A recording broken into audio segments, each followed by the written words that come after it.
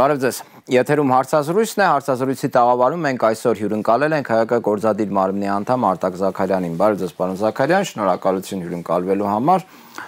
Այսօր մեր զրույցը սկսենք Հայաստանի դիրքորոշումից։ Տեսեք, Մինսկում այսօր եւ վաղը տեղի ունենալու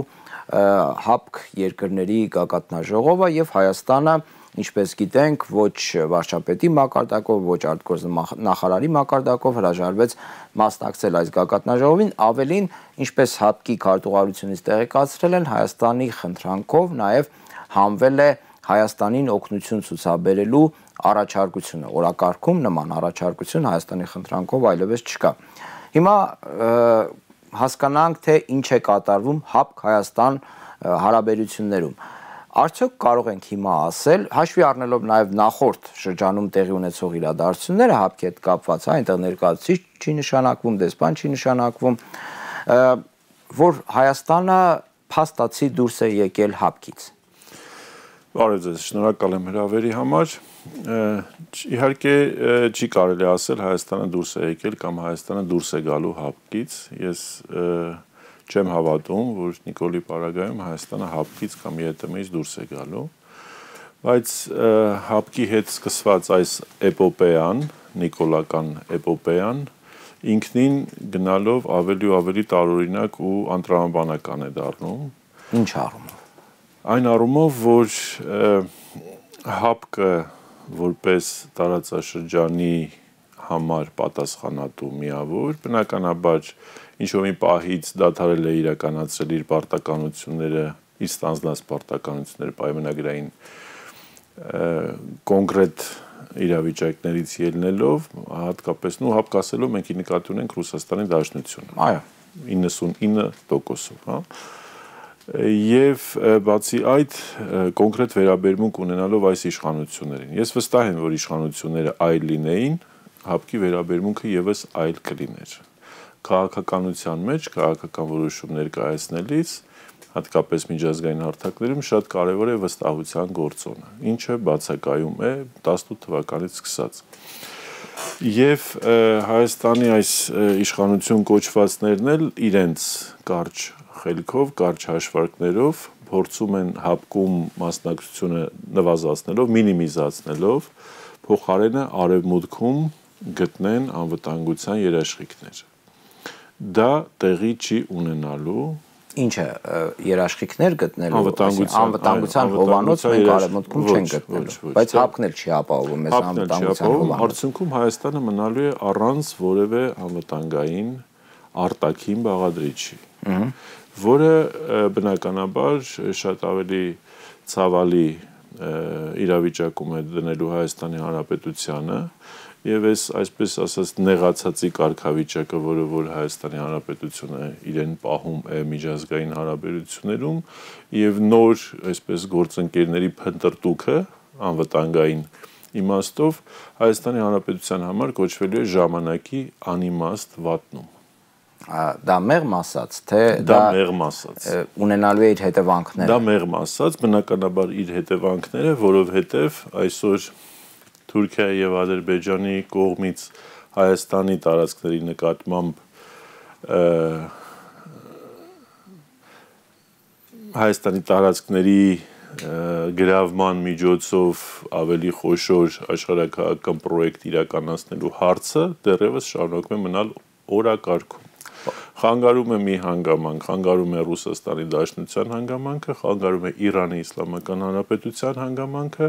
եւ խանգարում է Արևմուտքի կողմից Ադրբեջանին հնարավոր սանկցիաների ենթարկելու հանգամանքը։ Տեսեք, որովհետեւ այս թվարկածս յուրաքանչյուր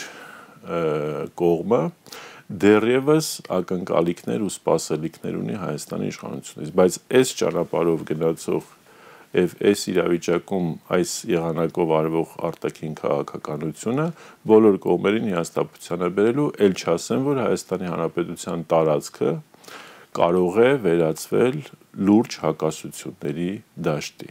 այսինքն ուկրաինական սցենարի հավանականությամբ դուք նշում եք որ արևմուտքում են փնտրում անվտանգության ինչ որ երաշխիքներ եւ չեն գտնում բայց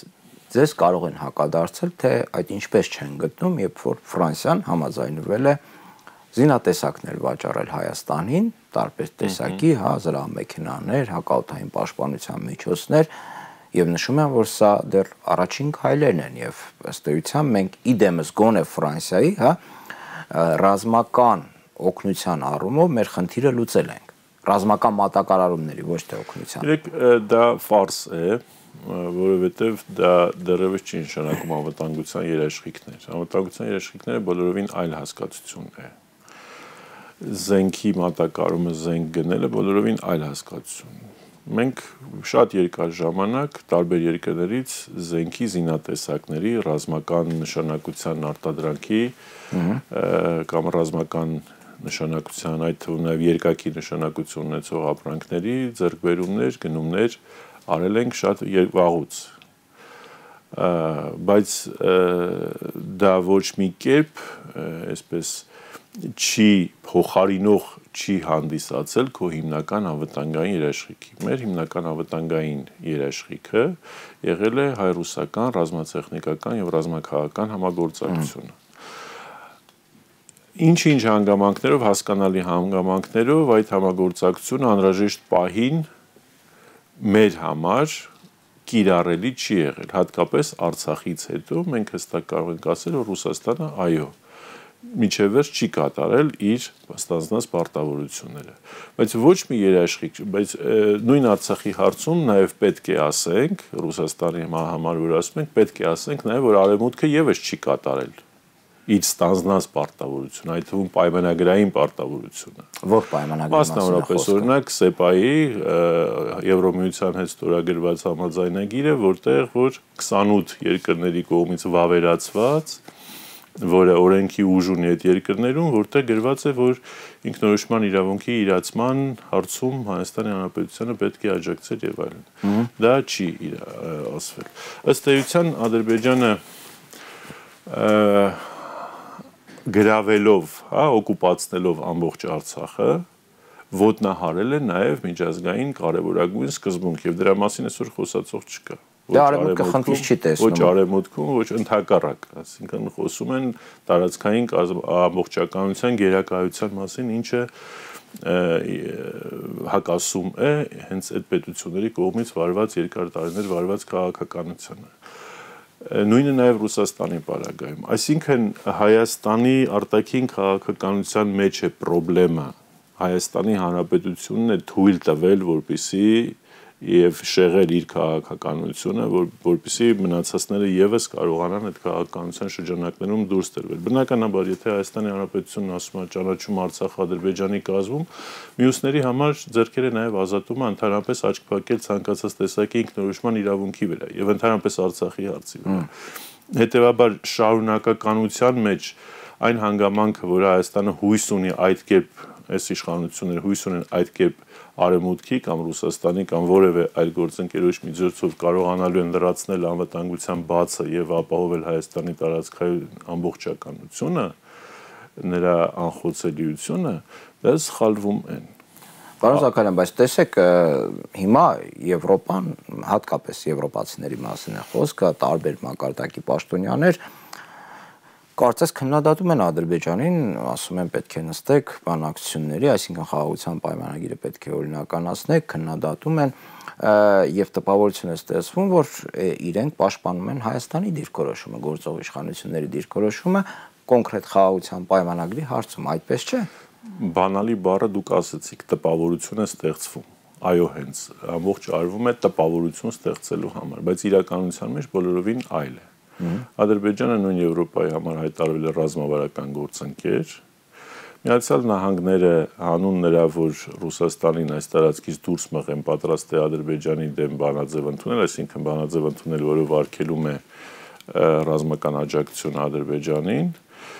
Ադրբեջանը իր հաղթողի դիրքերից ելներով իրեն թույլ է տալիս նաև որոշակի հռետորաբանություն Միացյալ Նահանգների դեմ ուղված, վստահ լինելով, որ Ռուսաստանը եւ Թուրքիան ընդարձում միջև վերջի թիկունքին կանգնած են լինելու, իսկ ինչ անում Հայաստանը այդ իրավիճակում կարողանում է Հայաստանը միջև վերջ մասնակցել են process-ին, որ Ռուսաստանին դուրս մղի եւ բերի նոր անվտանգային երաշխիք։ Չի կարողանում։ Կարողանում է արդյոք այս ընթացքում արևմուտքի հետ հավասարակշռությունը պահելով Ռուսաստանի հետ նոր պայմանավորվածություններով ամրապնդի գոյություն ունեցող անվտանգային երաշխիքները։ Էլի չի կարողանում։ Կարողանում է Իրանի Իսլամական Հանրապետության հետ մինչև վերջ բանակցություններով եւ խորքային պայմանավորվածություններով անի այնպես, որ որևէ կերպ հայերանական սահմանը այդտեղ չտուժվի չի կարողանում, դա էլ չի կարողանում։ Այսինքն ինքը Հայաստանը գործոն չի դարել արդեն։ Ցավոք։ Եվ հետևաբար ասել որ Հայաստանի իշխանությունները այսպես են անում, հույս ունենք որ կարող է այդպես ինչ-որ մի բան չի ստաց, հույսեր այդտեղ անիմաստ հույսեր փայփայել պետք չի։ Սպասել պետք չի։ Այս այսօր Հայաստանի անվտանգության շահերից բխող թիվ 1 խնդիր իշխանապողությունն է, որից հետո Հիմա հարց կտակ, չէ՞, դրանից հետո ինչ են, ինչ անելու։ Շատերը այդ հարցը կտան, հա, ասենք թե իշխանությունը փոխվավ, Ռուսաստանի շահերը չփոխվեցին։ Եվ դա շատ ճիշտ հարց է, ոչ էլ աշխարհի կառուցվածքը փոխեց, ոչ թե ոչ էլ Արցախը միանգամից վերադարձվեց մեզ, չէ։ Բնականաբար, բայց կան հնարավորություններ, հատկապես կոմունիկացիոն դաշտում, որոնք որը որ հիմա շատ ակտուալ է, եւ այս իշխանություն կոչվածները փորձում են այսպես կոչված ինչ որ մի խաչմերուկ գծել եւ այդ խաչմերուկը վաճառել որպես խաղության համաձայնագիր։ Մենք տեսնում ենք, որ մեր արևաններից ոչ մեկին առանձնապես դա չի հետաքրքրում։ Այդ խաչմերուկը։ Ինչու բոլորն էլ ասում են կոմունիկացիաները պետք է բացվեն։ Հա, ասում են, բայց ով է դրանից ով առանձնապես շահագրգիռ այդ Հայաստանը արևելքից արևմուտք հատող ճանապարով Թուրքիան եւ Ադրբեջան։ Այն Թուրքիան եւ Ադրբեջան։ Այն էլ ոչ թե որպես հայկական խաչմերուկ, այլ որպես հնարավորություն, այո, որպես հնարավորություն հետագայում դա եթե ոչ ռազմական, ապա այլ եղանակներով ասիմիլացվելով, բնակեցնելով կամ չգիտեմ ինչ կերպ յուրացնել այդ տարածքները եւ նորից իրականություն դարձնել իրանց պանթուրքիզմի ծրագիրը։ Հայաստանի Հանրապետության նոր իշխանությունները պետք է փոխեն կոմունիկացիոն վեկտորը հյուսիս-հարավը դարձնելով առանցքային Հայաստանի Հանրապետության նոր իշխանությունները պետք է ինքնորոշման իրավունքի խնդիրը վերադարձնեն բանակցային գործընթաց։ Հայաստանի Հանրապետության նոր իշխանությունները Արցախի բնակչության կարգավիճակի հարցը պետք է դարձնեն միջազգային օրակարգի հարց։ Հայաստանի Հանրապետության նոր իշխանությունները Հայաստանին պետք է վերադարձնեն Հայաստանի ուժային կարողությունները, ռազմական կարողությունները պետք է դարձնեն նորից ֆակտոր տարածաշրջանում, գործոն այդ ժամանակ արդեն Հայաստանի հետ հաշվի կնստեն եւ Արևմուտքում եւ Ռուսաստանում եւ հապկը ոչ թե այսպես սկասի դե չես գալիս մի արի, լավ կլներ որ գայիր, բայց դե որ չես եկել հիմա ինչ անենք, չես եկել, չես եկել, դու գիտես, ուզում ես մնա մեր հետ, ուզում ես մի մնա մեր հետ, դե որ տենց են ասում, դա նշանակում է դու պետք չես իրանց։ Իսկ սրանք էլ ինչ են ասում, ասում են մենք չենք հեռանում հապկից, հապկն է հեռանում մեզնից, հապկը քեզից չի հեռանում։ Հապկը հապկին հապկը քեզ է պետք կամ նմանատիպ մի կառույց քեզ է պետք, ոչ թե դու ես հապկին պետք։ Եթե Ռուսաստանի դիրքերից ենք մենք նայում, ամենասարսափելին եւ ցավալին այն կլինի, որ Ռուսաստանը իր հարավային Կովկասում իր խնդիրները լուծի բոլորովին այլ եղանակով, առանց մեզ։ Դե հիմա կարծես լուծում են, դե, պարոն Սարգսյան։ Դե դա ամենասարսափելին։ է։ Դա ամենասարսափելին է մեր համար, էլի, այսինքն մեր պարագայում, որովհետեւ մենք Ռուսաստանի հետ դաշնակցային ռազմավարական մեր գործընկերությունը կառուցված է եղել փոխադարձ շահերի հիման վրա։ Հիմա այդ փոխադարձության սկզբունքը չկա։ Ինքը իր կերպ ինքը բնականաբար շարունակում է շահերը ռեալիզացնել, ապահովել այլ գործընկերների միջոցով, դու այլևս դառնում ես ավելորդ միավոր իրանց պատկերացնում։ Եվ հիմա եթե 3 գումարած 3 ձևաչափներ իրականություն դարձավ, Այդ դեպքում այդ ձևաչափում Հայաստանի Հանրապետությունն ասելիք չունենալ, գործընկեր չունենալու։ Պարոն Զաքարյան, դուք դրսից գործընկեր բերելը։ Ահա այդ տարածաշրջան։ Դա նշանակում է, որ տարածաշրջանի բոլոր պետությունների հետ հարաբերություններ, այնպես ինչպես Նիկոլն ասում, հարաբերությունները լավացնենք հարևանների հետ ընդհակառակը։ Եթե այդ կոչվելու է հարաբերությունները վատացնել, եթե այդ եկող արևմուտքն է։ Պարոն Զաքարյան, տեսեք, դուք ասում եք ինքնորոշման իրավունքի խնդրի արծարծում, կոմունիկացիաները նայել այլ տեսանկյունից, ռազմական պոտենցիալի վերականգնում այ այդ առումով Նիկոլ Փաշինյանն ասում է ընդդիմությունը ռևանշիստական հայտարարություններ է անում եւ դրանով գրգռում է Ադրբեջանին եւ խոչընդոտում են խաղաղության պայմանագրի կնքմանը կամ տարածաշրջանում խաղաղության հաստատմանը։ Ընդդիմության ռևանշիստ կարգավիճակ է, այսպես եթե ասեմ։ Պայմանական ռևանշիզմ է։ Դա նույնիսկ ոչ պայմանական ճակերտները հանենք։ Դա շատ լավ բան է։ շատ լավ գաղափար է դա վատ գաղափար է Նիկոլի համար, որովհետև սպառնում է իր իշխանությունը կորցնելուն, դա վատ գաղափար է Ալիևի համար, որովհետև սպառնում է Ադրբեջանին զսպելուն եւ Արցախի հարցը նորից օրակարգ վերադարձնելուն։ Այո, եւ Ալիևը եւ Նիկոլը ընդդիմության ասում են ռևանշիստ։ Իրանց տեսակետից իրանք ճիշտ են անում որովհետև երկուսն էլ կորցնելու բան ունեն։ Մեկը իշխանություն, մեկը նորից իր գերաճած դիրքերը տարածաշրջանում բայց շահելու բան ունի Հայաստանի Հանրապետությունը եւ հայ ժողովուրդը։ Միանշանակ։ Ռևանշը Հայաստանում իշխանապողությունը, այսինքն պայմանական, այս դեպքում արդեն պայմանական անունը դնենք ռևանշ, որովհետև բարդ հասել թե հատկապես որ ուժերի միավորումները կարող են լինեն հաջորդ իշխանություն։ Ու կարելի է ենթադրել, բայց այս պահին տենց ճշգրի դժվար ասել։ Դա պատերազմի հավանականությունը նվազեցնելու է ընդཐུպ մինչև ձգտելով 0-ի։ Ինչու՞։ Ինչու, որովհետև դրանով ասացին, թվարկեցին բոլոր 4 կարևորագույն ուժերի բալանսը ապահովելու։ Այո, 4 կարևորագույն խնդիրներ, որովհետև Հայաստանը դուրս է գալու սխալ ռելսերի վրայից դեպի կործանում տանող ռելսը։ Այսօր Հայաստանին, որովհետև Նիկոլը 21 թվականին ընտրվեց հենց դրա համար։ Դրված է սխալ ռելսերի վրա եւ միջևերջ պետքա հրելով տանեն յուրաքանչյուրը շահում է այդտեղ բացի Հայաստանից։ Ինչի են դրսում բոլորը շահագրգիռ, որ Նիկոլը մնա իշխանության։ Ինչի են ամերիկացիները շահագրգիռ, եվրոպացիները շահագրգիռ, թուրքերը շահագրգիռ, ռուսները շահագրգիռ, պարսիկները շահագրգիռ եւ մեր հասարակության չգիտակցող մասն էլ է շահագրգիռ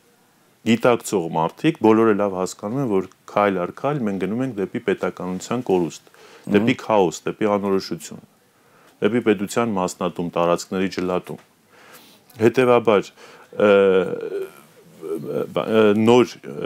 բանը իշխանապողությունը, այսինքն նոր իշխանությունները, դրանք բնականաբար նաև նոր քաղաքականություն են։ Հա, եթե գանի մարդիկ, որոնք սկսեն նույն բանն անել, ինչ որ Նիկոլ անում, բարձա ոչինչ չի փոխվելու, ավելի վատ է լինելու։ Հիմա խաղաղության պայմանագրի կամ խաղաղության դարաշրջանի բացման մասին տեսեք հիմա հայտարարություններ են հնչում, որ բավականին մոտ ենք։ Դրանից առաջ մի քանի օր առաջ Ադրբեջանը Հայաստանին մեղադրեց, որ չի պատասխանում Ադրբեջանի առաջարկներին փոխադարձ առաջարկ չկա, Հայաստանը շատ արագ ուղարկեց այդ առաջարկները, Ադրբեջանը շատ արագ պատասխանեց առաջարկություններին առաջարկելով օրինակ Ադրբեջանի կողմից առաջարկ է եղել երկկողմանի բանակցություններ վարել, այսինքն դուրս գալ արևմտյան այդ պլատֆորմից, նաև ռուսական պլատֆորմից իրար դեմ նստել եւ բանակցել։ Հայաստանը պատասխանեց, որ պատրաստ են սահմանազատման, հա, այդ բանակցությունները վարել երկկողմանի հենց սահմանին։ Դրանց առաջ պայմանավորվել էին, չէ, որ Մոսկվան պետք է միջնորդ հանդիսանա եւ Ալիևը այսօր հայտարարեց, որ որևէ խոչընդոտ չկա Հայաստանի հետ խաղաղության պայմանագիր ստորագրելուն։ Ինչ հասկանանք այս հայտարարություններից, պարոն Զաքարյան։ Արդյոք եթե Ալիևը ասում է, որ որևէ խոչընդոտ չկա, Հայաստանը բավարարել է Ադրբեջանի բոլոր պայմանները, օրինակ 8 գյուղեր, Միչանսկ, չգիտեմ, ադրբեջանցիների վերադարձ Հայաստան եւ նմանատիպ այլ պահանջներ։ Տեսեք, նույն իրավիճակն է ինչ որ Արցախի պարագայում։ Արցախի պարագայում էլ Ադրբեջանն ասում էր ուրիշտեղ չեմ գնալու բանակցելու։ Ահա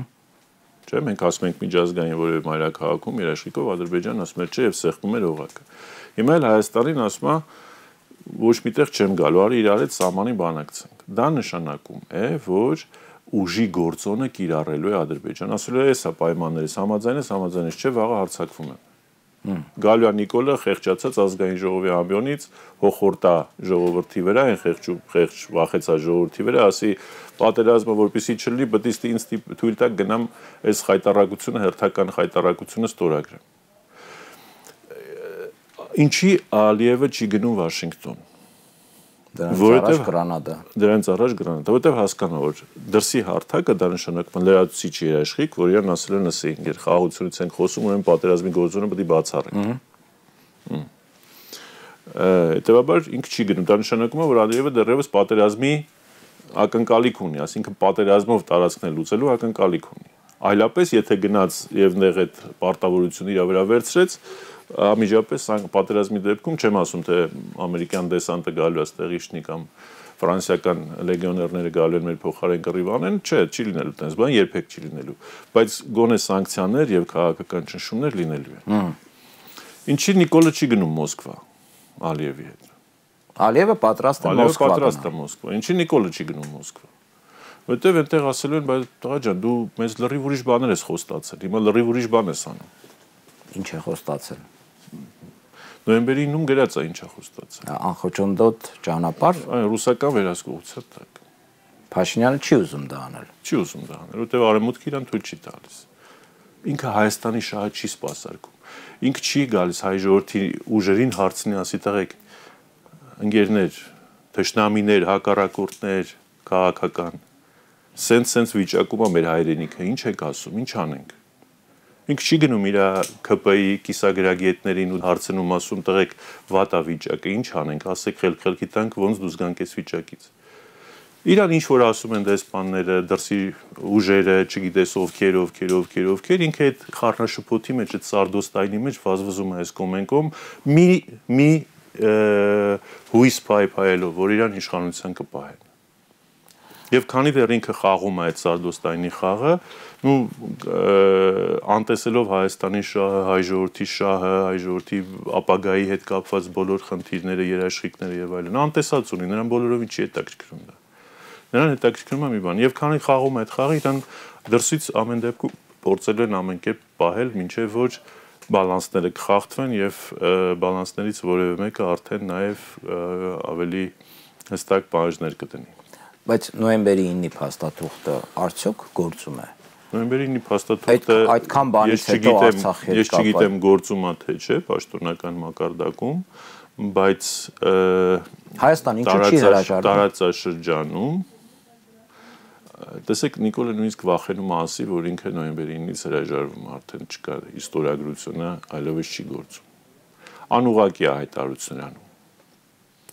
բայց տրամաբանական է, չէ՞ որ այդ խնդիրը տրամաբանական իմ համար եւ ձեր համար է տրամաբանական, բայց քաղաքական պայմանավորվածությունների դաշտում այլ բան է։ որտեվ նոյեմբերի 9-ով ենթ չէր ենթադրվում, որ պետքա գնալ Պրագա եւ հայտարարել, որ Ադրբեջանի կազում է ճանաչում Արցախ։ Նա չէր ենթադրվում։ Չէ։ Հետևաբար դրանից հետո չէ փակվեց Լաչինի միջանցքը, Բերձորի միջանցքը։ Դրանից հետո փակվեց բաները էկոլոգներն այսպես կոչված դրանից հետո հայտնվեցին ճանապարհի վրա։ Նաև հսկի ճանցագրային կետեր։ Դրանից 6 ամիս հետո էլ հսկի ճանցագրային կետեր հայտնվեցին։ Եվ այլն եւ այլն եւ այլն։ Ադրբեջանը ինչ որ անունը դրեց հակա terroristական հակաաբեկչական օպերացիա մի իրավիճակում, որտեղ 26 տարի շարունակ աշխարհը ընդունում էր այն հանգամանքը, որ Հայաստանի Հանրապետությունն է հանդիսանում Արցախի ժողովրդի անվտանգության երաշխավորը։ Բայց ոնց միանգամից անվտանգության միջազգայինորեն ընկալված, ընդունված երաշխավորը, չգիտես ինչի, Նիկոլի Պարագայում վերածվեց հակաաբեկչական կազմակերպություն խաղաղ բնակիչներին պաշտպանող կազմակերպությունը կառույցը վերածվեց եւ աշխարհը ոչ մեկ ձեն չհանեց դե այդ թվում նաեւ Նիկոլը չենք ուզում ներքաշվել պատերազմի մեջ մեզ սադրում են եւ մենք փրկվեցինք չոքնել չոքնելով Արցախին Հայաստանը փրկվեց Գիտեք, գիտեք այդ ինչին է նման, երբ որ խրամատու մի քանի հոգի կանգնած են, մեկը կռիվն իր վրա է վերցնում, են մնացածը փախնում են, ասում են մենք չենք ուզում խառնվենք, որpիսի այս պատերազմին չմասնակցենք, բայց այդ փախուստի ընթացքում արկանգնում է նաև այդ փախնողների վրա։ Պարոն Զաքար, այդ դրանն է նման Հայաստանի պահվածքը։ Կեղտոտ ստոր Հայաստանի իշխանությունների, էլի, այդտեղ թողիցներ են մեր ժողովուրդը, բան, որտեղ մեր ժողովուրդը առանց վիրավորանքների ժողովուրդ իշխանություններին է վերաբերում։ Չէ, իրաց քաղաքականությանն է։ Դա աշխարհի աչքերով վախկոտի եւ ոնց ասեմ, պատասխանատվությունից փախնող ոչ տղամարդկային քաղաքականություն էժանագին քաղաքականությունը, որը Հայաստանի գլխին կախում է նոր նոր վտանգներ։ Հիմա նույն կերպ ինչ գիտեք Սյունիքի հետ չի վարվելու։ Դժվար է ասել։ Հիմա այդ մասին եւ ավարտենք մեզ իրոք սպասվում է խաղաղության պայմանագիր։ Ոչ, մեզ սպասվում է խափեությունների նոր շարք, անունելի խաղաղություն, այնպես ինչպես 21 թվականին եղավ, եկավ ասեց խաղաղության դարաշրջանն է սկսվել, չգիտեմ ինչ է սկսվել, դրանից հետո երկու պատերազմ եղավ։ չէ։ Մի հատ 22 թվականին, մի հատ 23։ Դե միջանկյալ էլի։ Չէ, անպատերը իրանք լիարժեք մարտական գործողություններ են զոհերով, կորուստներով, տարածքային կորուստներով, միջազգային աղմուկով եւ այլն եւ այլն։ Արդյունքում ինչ եղավ, վերափոխվեց, ինչ շահեց Հայաստանը ոչինչ, ինչ շահեց աշխարհը, վերափոխվեց յուրաքանչյուրի Եվրոմիությունը իր դիտորդներով մտավ ռեգիոն։ Իրանը ստացավ խնդիրներ, Միացյալ Նահանգները դարձավ արդեն նոր բանակցային ձևաչափի մասնակից եւ նպատակը ռուսներին դուրս հանելն է ռուսները արդեն ստացան մի Հայաստան, որի վրա, որի հետ ընդհանրապես վստահության ոչ մի էլեմենտներ արդեն էլ ապագա ռուսական ծրագրերում հաստատ չեն կառուցելու միջև իշխանապողություն չլինի։ Այսինքն այս իրավիճակից իսկ ինչ ստացավ Հայաստանը, բացի Արցախի կորուստից, բռնազավթած հայրենակիցներից, սոցիալական, տնտեսական, հսկայական, այսպես ասած, զախողումներից։ Ոչինչ։ Ոչինչ անվտանգային վերջին, այսպես ասած, բաները, բաստիոններն էլ քանդվեցին։